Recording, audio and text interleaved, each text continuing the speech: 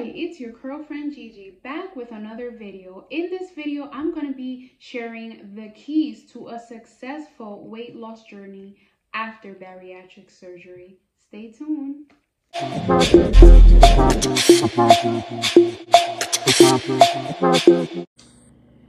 First and foremost, I want to thank all my new subscribers. Welcome, welcome here. And if you know anyone that can be blessed by all this information, please go ahead and share that with them. It is very disheartening for me to know um, the things that I am being told recently by people that know bariatric patients. And unfortunately, that is that many who have gotten the surgery, they have gained the weight back. Now, not all the weight, but half. And it really saddens me because I know what we have to go through to go through this process and get the surgery. I know, I remember my appointments. I mean, I, I went through seven months. Many of you probably have gone through it, will go through it if you're considering to have this surgery. Seven months prior to having my surgery, just trying to get myself started um, mentally, physically, on the journey that I was going to take on and that I'm in and have been for six years now. So I know the process prior to getting the surgery and I know what it like how frightening like I see the comments that you guys like some of you in, in my last videos um past have, have like oh my god I'm not sure you know I'm nervous about what I'm doing. I'm not sure exactly how it's gonna go. I'm not sure to even get the surgery so I, I understand, trust me. And then once you get it, you're just like, oh my goodness, is this gonna go right? So I wanna share with you guys things that have helped me two, three, four, five, and now six years and plus to go because I'm going to continue um, implementing this as part of my life journey now with the surgery. And this is not something that just, especially if got the gastric sleeve, this is not something that you just get and then it disappears.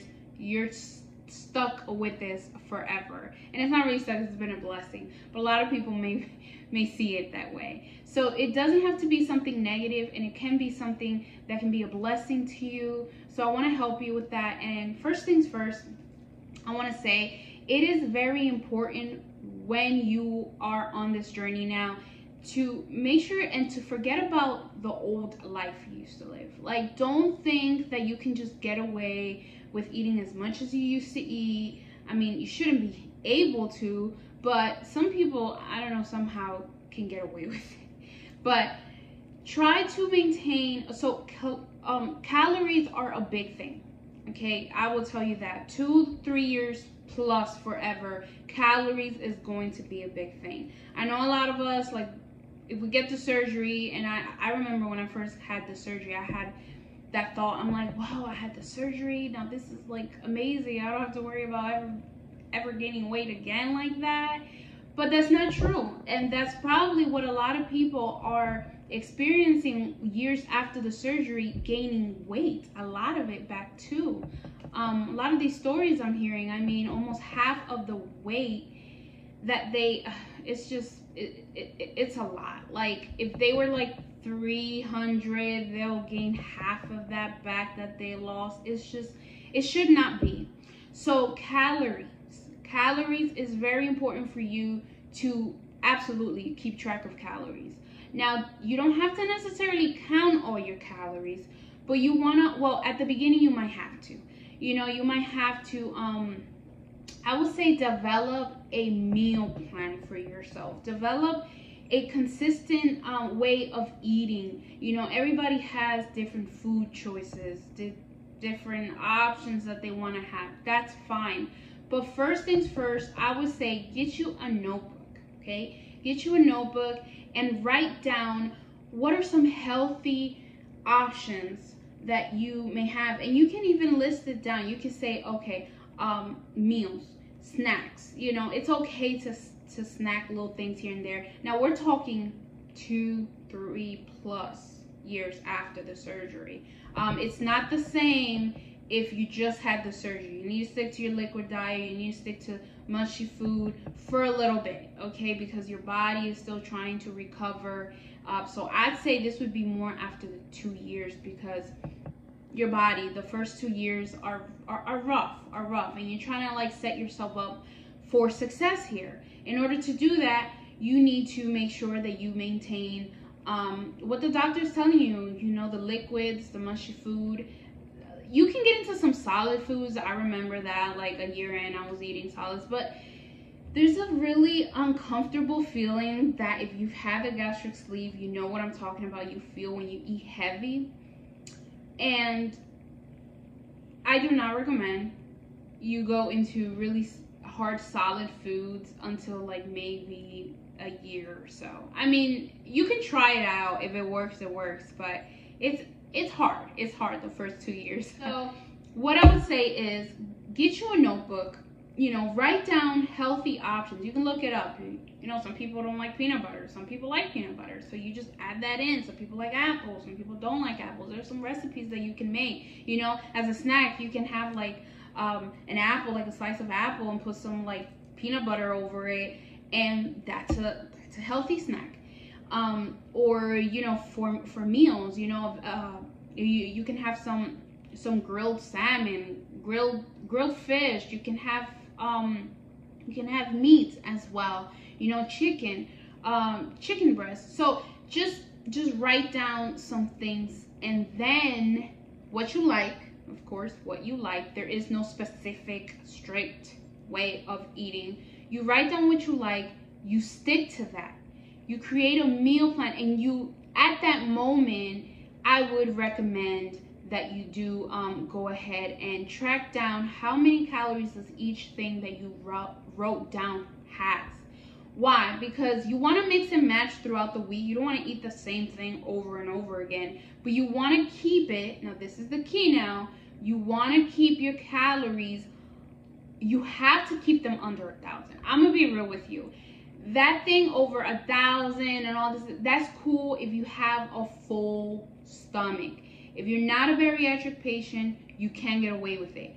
But many years after the surgery, unless you're burning those calories at the gym, I'm gonna tell you right now, like for example, for for me, on a day when I'm not I'm not working out, I'm just going to work, you know, doing things around the house.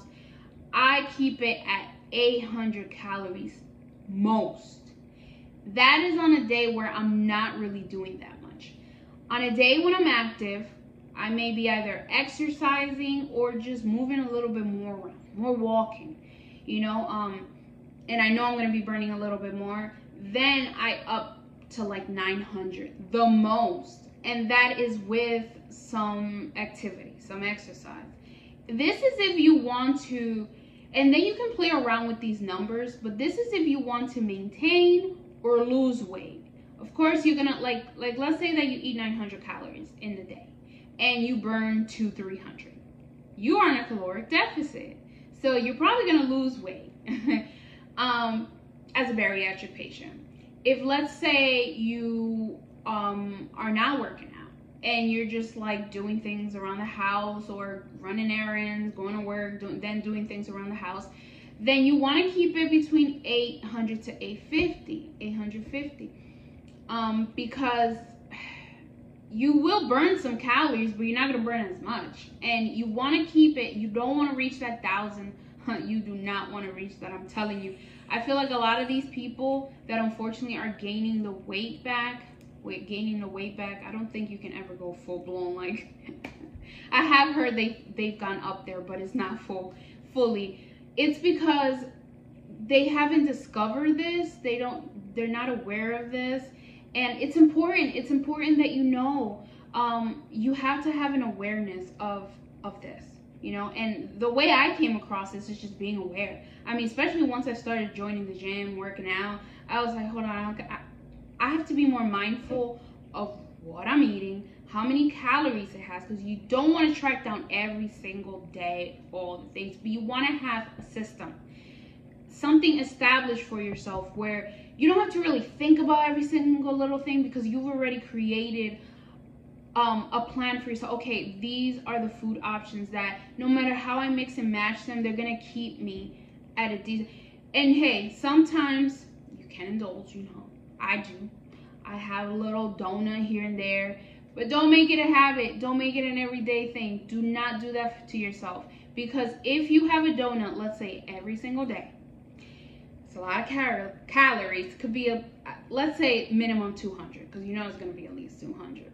Um, there ain't no, uh, I mean, unless you make a donut for yourself, like handmade donut that you can finesse it being under 200, get some protein in there. But um, it's probably gonna be 200 calories.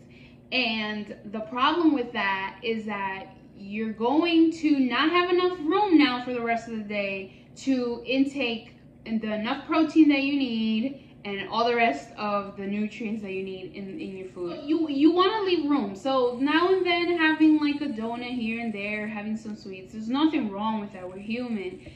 Uh, but you don't want to make it happen. And you don't want to make it a thing where you're doing this every day. Now you're jeopardizing your nutrients and you're gaining weight. Absolutely not. And if you are doing that, no judgment here. But if you are doing that, make sure that you're working out so you can burn those calories. You can have room to be able to um, just make yourself some some good food, you know, healthy quinoa, you know, whatever, um, fish, meats, veggies. Season that up. so that is my recommendation. Um, I'm not sure if I went in depth. Um, if you have any questions, feel free to follow me on my Instagram. You can message me there. You can just DM me. You know, let me know if you have any questions. Of course, you can drop any questions or any comments in the comment section down below. But I hope this has helped you. Like I said, as a bariatric patient, you do not want to exceed that amount. That's been my key. Aside from the supplements that I shared in my previous video, if you haven't checked that out, I'm gonna pin it um, and I'm put it in the description below. Supplements, vitamins, very important. And also watching what you eat and how many calories. Knowing, okay, as a bariatric patient, how many calories is too much? What is gonna help me maintain? What is gonna help me lose weight? How do I manage this? Okay, so I hope this video has helped you. Stay tuned for the next one coming up soon. Bye bye.